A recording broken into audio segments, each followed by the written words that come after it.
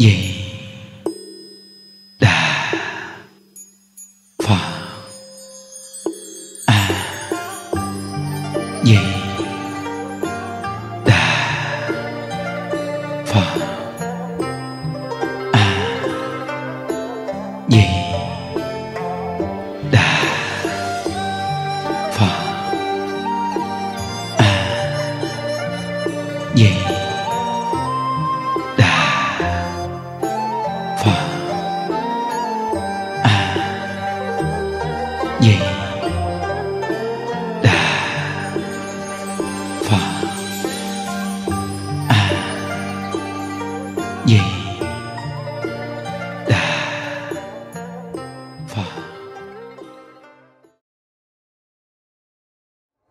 Nam mô Bổn sư Thích Ca Mâu Ni Phật.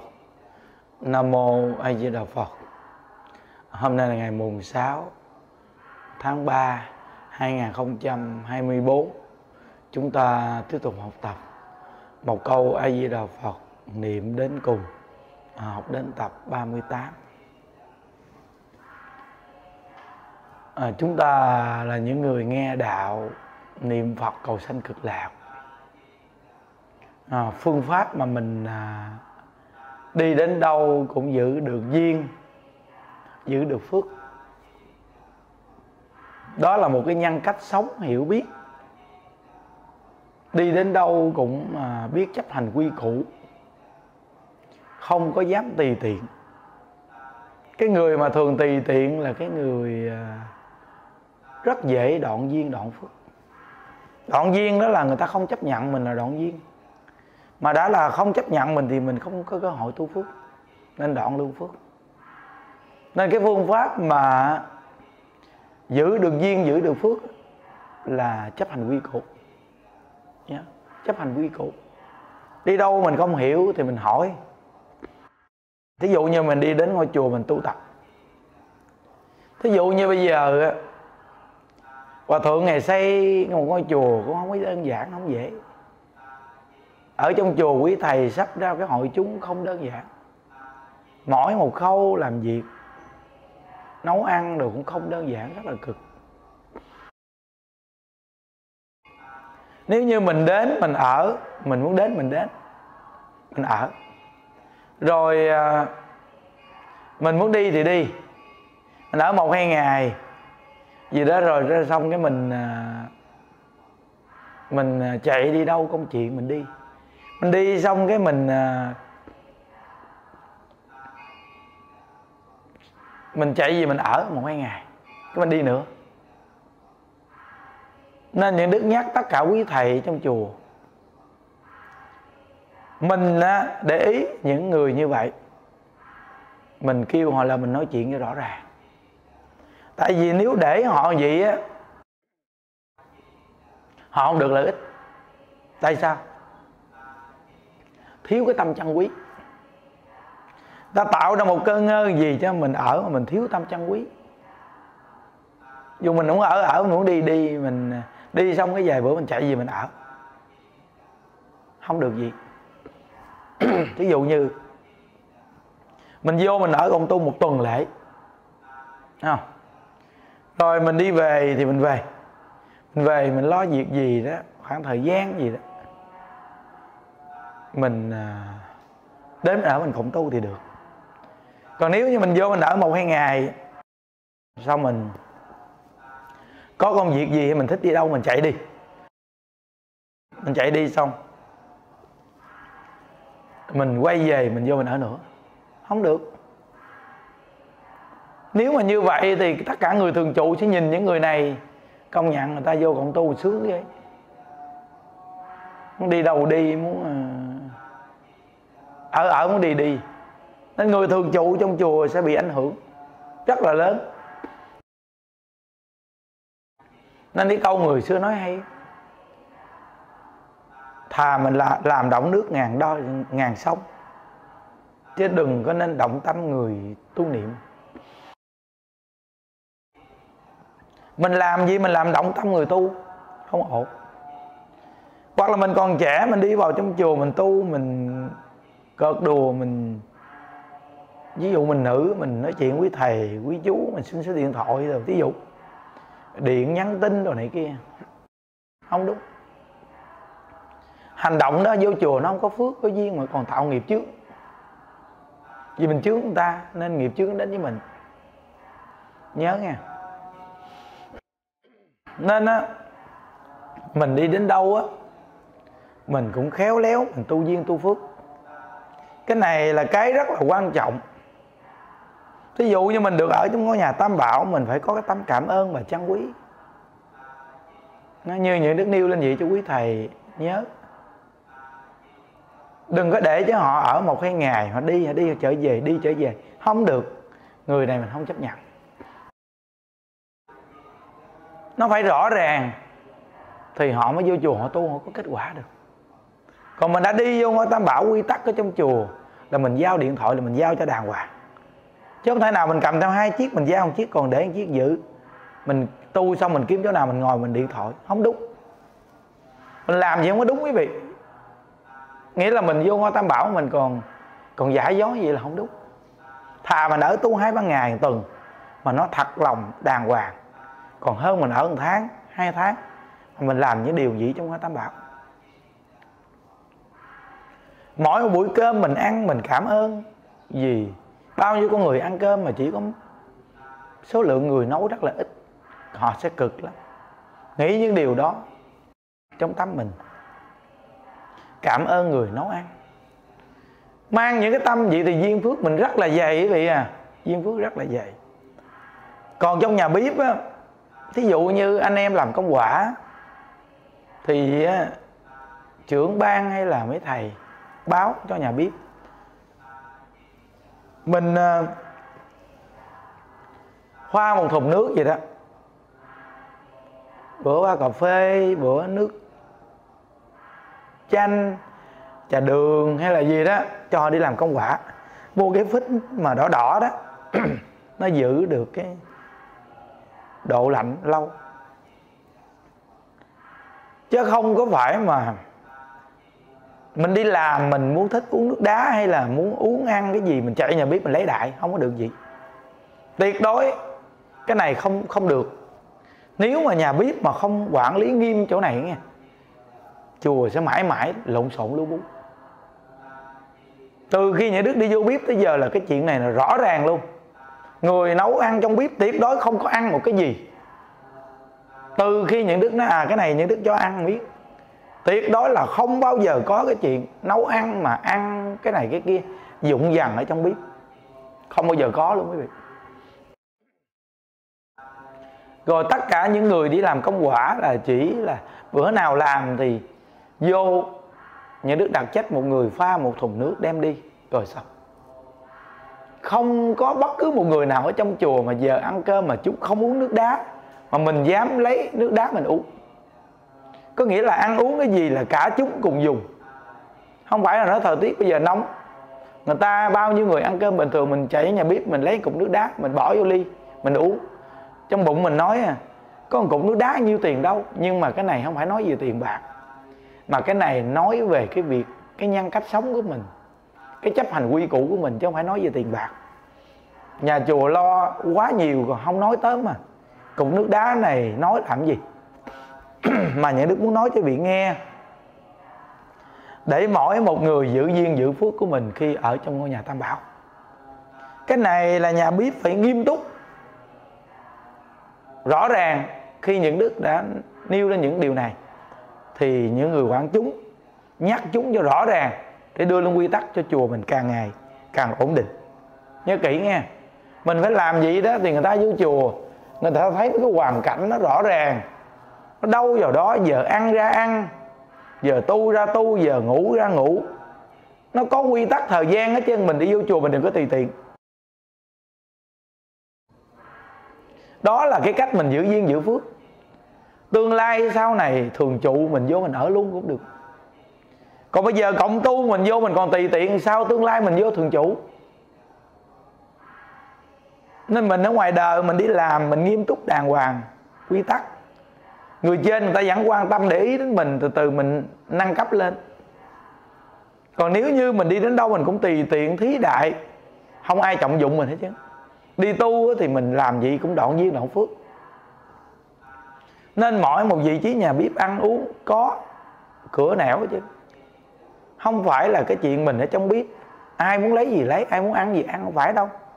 Cái đó không phải là tâm rộng rãi đâu mà đó là hại người. Cái nhà bếp là chỗ cực kỳ quan trọng để hỗ trợ cho ngôi chùa được bình an. Nên khi mình nấu ăn trong bếp, cái gì phải có quy tắc đàng hoàng. Thí dụ như mình đã vô trong nhà bếp mình nấu ăn, đừng có bắt nhạc, bắt đồ ca hát tùm lum.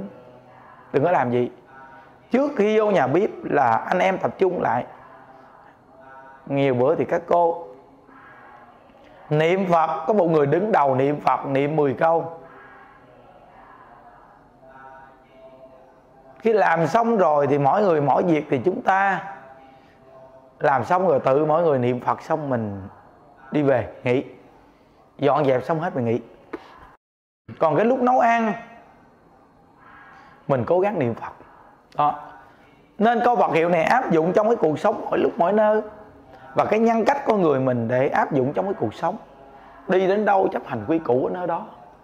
Từ một cái trái cây, một miếng đồ ăn, một cục nước đá mình đã chưa sinh mình không dám tùy tiện lấy ăn.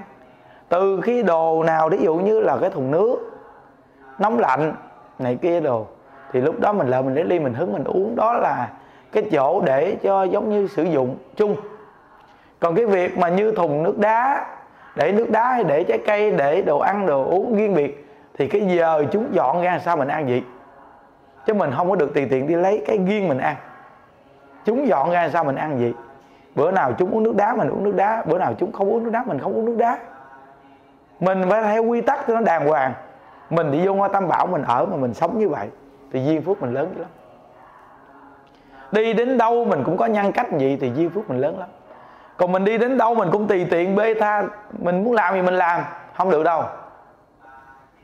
Nhưng đức thấy rõ ràng ở trong chùa, có những người họ rất giỏi nhưng họ không có nghĩ đến cái chuyện tập thể họ không có nghĩ quy tắc sống họ rớt đó rất giỏi mà rớt. Làm rất siêng năng, rất giỏi luôn mà rớt. Là ngay cái nào? Tưởng đâu là mình cái gì mình cũng cho người ta ăn được là cái đó là mình, duyên của mình với người ta dày, chưa chắc. Cái gốc mà chưa chắc, mà phát cành lá lớn quá là nó ngã cây à. không bao giờ nó tồn tại đâu. Nên mình phải có quy tắc cho nó đàng hoàng. Cái nào ăn ra ăn, cái nào chúng dùng là dùng. Chứ tiệc đó mình không có dám tùy tiện không phải đồ ăn trong chùa mình muốn lấy cho ai ăn là cho đâu, không phải đâu. Nên mình phải có quy tắc cho nó đàng hoàng. Vậy để mình mới biết giữ phước cho người ta, giữ phước riêng cho mình. Còn nếu như mà mình nghĩ đây là của tam bảo, mình phung phí thí đại, tự đoạn duyên, đoạn phước của mình luôn. Trong chùa có rồi đó. Có những người trong chùa rộng rãi, tưởng là mình quá rộng rãi, cuối cùng đoạn duyên, đoạn phước không ở trong chùa được cho quý vị biết á, nó giỡn đâu. Nó nên mình phải biết cái chân quý, cái nhân duyên cái được ở trong ngôi nhà tam bảo. Nó, đây là những điều mình nhắc nhở từ hàng cư sĩ chuẩn bị đến chùa tu. Hay người trong chùa để mà tu tập làm sao giữ duyên, giữ phước của mình. Mình được vô ngôi nhà tam bảo, cái gì người ta cũng lo chứ rồi. Mình được ở mình tu. Mình, thời gian mình tu tập buổi sáng mình rảnh, mình phụ. Cái gì được mình phụ? Ăn cơm xong mình rửa được cái chén, phụ mình rửa. Những việc này mình tu duyên tu phước cho mình. Ai ăn nấy no, ai tu nấy trứng mình có làm giùm cho ai đâu. Mình bỏ công ra thì sao thì mình hưởng được gì? Mình là người tu tập, phải có cái tâm vậy chứ đâu phải là người ta không kêu mình ăn xong là mình giọt mất tiêu. Mình đi đến đây mình tu tập, mình phải biết khéo léo. Tạo duyên, tạo phước cho nó lớn. dù là quý vị chưa cúng dường các bạc nào, nhưng chính cái hành động, quý vị, là chính cái hành động mà phát triển duyên phước. Cái này cực kỳ quan trọng luôn. Nên mỗi một người vô chùa tu phải nhận thức chỗ này cho sâu sắc. Đem cái buổi chia sẻ này nè, lưu lại mỗi điểm chùa. Một tuần bật một lần để nhắc nhở người ta khi đi vô chùa tu tập. Đây là cái lời nhắc nhở quý vị phải nhớ rồi anh em quản chúng dựa vào đây để nhắc chúng. Cái hành động đơn giản, bình thường nhưng đừng bao giờ chúng ta bê tha. Giống như một chỗ mà nước mà chảy rỉ rỉ thôi. Chút chút chút chút vậy đó. Nhưng vậy mà nó cạn cả cái lưu nước đó. cái hồ nước nó chảy miếng nước thôi.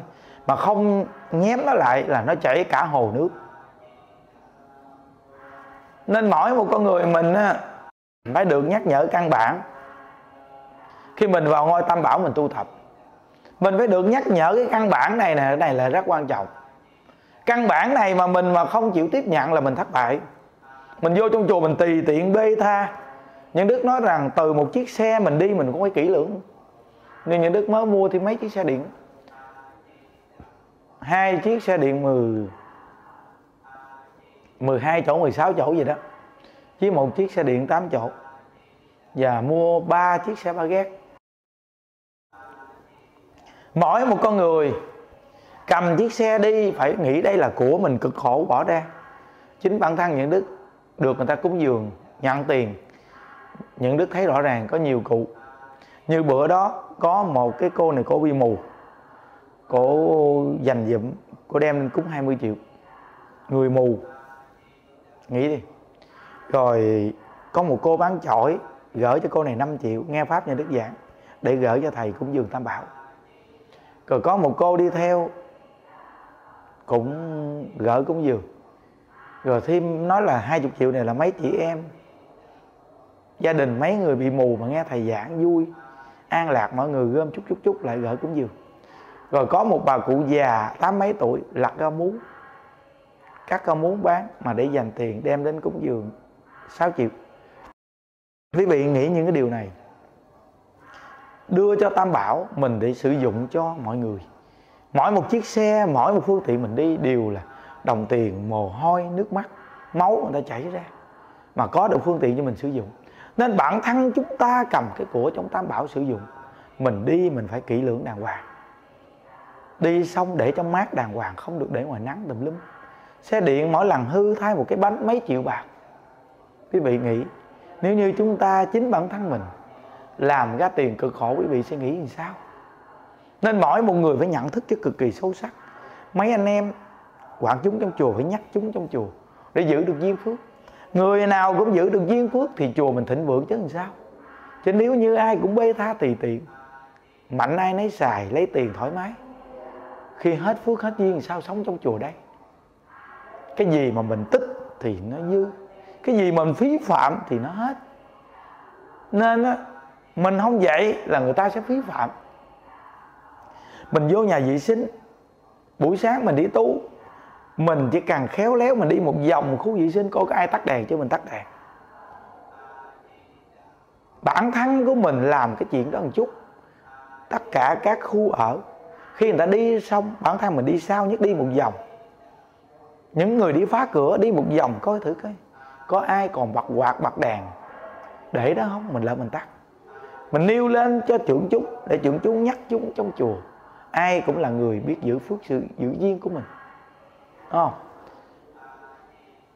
Rồi ai đi vệ sinh khi xả nước chảy ào ào. Bản thân mình đi gạo một vòng khi cái giờ chuẩn bị lên tu hết. Coi có ai có để nước hay không? Tắt. Chỉ cần có một người như vậy, mỗi một cái thùng nước trong nhà vệ sinh, coi cạn queo có khi những người không xả ra, xả nước ra. Làm những việc như vậy một chút, chỉ cần có những người phát tâm như vậy. Chùa chiền mỗi người tích lũy từng chút từng chút từng chút. Không được phí phạm. Quý vị coi đồng tiền người ta cúng cực khổ vô cùng, nhưng chúng ta lại xài phí phạm là duyên phước mình còn ở đâu? Đây là những điều mình nhắc cho người đi vô chùa, ở đi đến đâu cũng vậy. Cũng phải biết giữ phước duyên của mình. Không được tùy tiện. Đó. mình đi vô chùa mình ở tu mình gói mình nằm xong người ta, còn xong ta gom ta đi dẹp. Mình nghĩ đi, cái gì người ta tạo sẵn sẵn sẵn cho mình bản thân mình. Không biết chấp hành quy củ, không biết chân quý ngôi tam bảo thì duyên phước ở đâu để mình ở được trong chùa đây? Người thường trụ mà không giữ tỉ mỉ chỗ này thì mình không biết là ngôi chùa này mình nghĩ rằng chắc là mình ở tạm bỡ nếu như mình nghĩ chùa này là nhà của mình, là cái gia đình mình đang ở, mình trân quý. Mỗi một anh em thường trụ đều có cái góc độ nhìn. Trên là hòa thượng xây chùa, ký cỡm từng chút để xây chùa. Kế là những đức người ta cúng từng chút từng chút, gom lại để lo tới chút. Nên mỗi một con người khi hư cái gì, xài cái gì phải suy nghĩ cho thật là kỹ khi mua một món đồ đó không được mua về mà dùng, mà không dùng bỏ đại bỏ càng từ công từ của không được phí phạm. Như vậy thì phước duyên của mình mới dài. Công của mà phí phạm thì mình thất bại rồi. Những điều những đức nhở, nhắc nhở đây rất quan trọng. Cái buổi chia sẻ này, mấy anh em dữ liệu lại dùm những đức. Nhớ, dữ liệu lại dùm. Một tuần lễ, mấy anh em bật một lần thí dụ như, coi, mấy anh em cứ bật mỗi tuần cứ là ngay thứ năm. Thứ năm bật cái bài này. Ví dụ như bài này coi Phật niệm đến cùng mỗi tuần thứ năm bật lại một lần. Thứ năm tại vì thứ năm này nó quay lại một vòng. Thứ năm này nó quay lại một vòng. Nó. còn nếu như mấy anh em thấy rằng đầu tuần ví dụ như ờ, thứ bảy đi có những người ta về ta cũng cộng tu thì thứ bảy mấy anh em bật một lần cũng được. Nó, thứ bảy quay lại tới thứ bảy thứ bảy quay lại tới thứ bảy. Thứ bảy đi, quyết định thứ bảy. Đó. Dữ liệu lại dùm cái buổi giảng này. Mỗi tuần cứ bật đi, sẽ lợi ích rất là lớn. Và giúp đỡ mấy anh em quản chúng rất là lớn. Khi mấy anh em quản ngôi chùa mà nghe thầy ổng nhắc nhở gì, quý vị dựa vào chỗ này để nhắc nhở chúng. Con người không phải nghe một lần mà nhớ đó quý vị à. Chúng ta phải cần nghe nhiều lần để nhắc nhở mình. Vì chùa mình đông, người cứ thay đổi suốt nên chúng ta cần phải được nhắc nhở nhau để giữ duyên giữ phước khi mình đi đến ngôi tam bảo tu tập. Mang tâm cảm ơn, mang tâm cung kính, gặp người phải chắp tay chào hỏi ai với đạo phật. Cứ gặp quý thầy là chắp tay ai với đạo phật. Luôn luôn có một cái tâm như vậy. Những đức cũng nói chuyện khô hơi cạn tiếng. Nếu như quý vị gặp quý thầy không biết chào hỏi, người ta cũng đánh giá. Nói ông thầy đức ông không biết dạy phật tử. Đó là cái điều mà những đức chân thành nhắc nhở quý vị. Mong quý vị đi vô trong ngôi tam bảo ở tu tập. Ai cũng giữ được duyên phước. Nhớ kỹ, từ cái nhân cách đạo đức của mình mà hồi hướng cho ông bà cha mẹ của mình, cúng cho ông bà cha mẹ cái gì mới được lợi ích. Cúng cái nhân cách đạo đức của quý vị. Khi đi đến đâu cũng biết chấp hành quy củ, không làm phiền ai, không làm phiền ai hết chứ. Mình cái gì mình được gầy la thì mình sửa đổi. Con người ai mà không có cái sai sai mà biết sửa mới quý. Lãng tử quay đầu quý hơn vàng. Ai cũng có sai. Mình đi đến mình chân thật không hiểu, mình hỏi. Mình biết sửa, đó là điều chân quý vô cùng. Làm sai chưa đáng sợ. Sợ nhất là không chịu sửa sai. Nhớ kỹ nghe. Nên mình được ở trong ngôi nhà tam bảo được như vậy, mấy anh em nên hết sức chân quý. Giữ cái duyên phước để mình sống cả đời mình ở trong cái ngôi nhà tam bảo như vậy, nhớ kỹ, mỗi bên vai chúng ta có hai vị thần. Một ông ghi phước, một ông ghi tội. Dù mình có chốt làm lỗi đi chăng nữa cũng thì có người ghi tội ghi à. mình làm phước dù không cần ai biết, cũng có người ghi phước à. Nhớ, người ta khen cũng được, người ta chê cũng được. Bản thân mình nên chân thật cố gắng để sửa đổi lỗi lầm, để sống cho thật là tốt. Siêng năng niệm phật, đi đứng nằm ngồi niệm phật, chân thật niệm phật nếu như mình đi vô ngôi tam bảo mà mình làm gì đặc biệt lắm. Đã vô chùa quy tắc là giao điện thoại là phải giao điện thoại. Bản thân mình được vô ở là mình phải hết sức trân quý. Cái nhân viên được lo lắng. Nên mỗi anh em thường trụ những đức sắp xếp lo cho mấy anh em. Từ phòng ốc giường tược mền gối niệm ở đan quang, máy điều hòa sóc để phục vụ đại chúng. Mấy anh em hãy bình tĩnh ngồi suy nghĩ. Đây là đại nhân viên phước báo bản thân mình phải cố gắng tu phước tu duyên, không được tùy tiện. Mỗi cái một chút không cần xài cũng không dám vi phạm. Một cái tắm của mình mình tắm mình cũng xói nước, bản thân mình cũng không dám vi phạm. Không phải kêu mình không xói nước, mà mình phải có cái tâm biết trân quý, cái phước duyên để giữ phước báo lâu dài mà xài. Đây là cái cực kỳ quan trọng. Nguyện tam bảo gia hộ cho toàn thể đại chúng quý vị đi đến chùa tu tập, ai cũng biết cảm ơn hòa thượng, xây chùa, cảm ơn quý thầy sắp chúng lo lắng cho chính mình. Những đức nguyện tam bảo gia hộ cho quý vị có sức khỏe, sống vui vẻ, an lạc. Và khi bỏ báo thân này, chúng ta đều hẹn gặp ở thế giới cực lạc. Chúc quý vị an lạc. A di đà phật. Nguyện đem công à, đức à, này hướng về khắp à, tất cả đệ tử và chúng à, sanh, đồng sanh về tịnh à, độ.